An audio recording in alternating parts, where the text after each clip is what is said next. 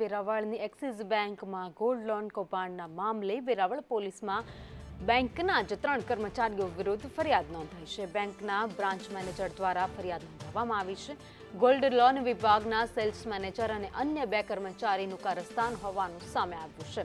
પ્રાથમિક તબક્કે બે કરોડના બે કિલો સાતસો ગ્રામ સોનાની ઠગાઈ થઈ છે. ગોલ્ડ લોનના ચારસો પાઉચની તપાસ અત્યારે ચાલી રહી છે. તો પ્રથમ છ પાઉચની તપાસમાં જો બે કરોડની ઉચાપત સામે આવી.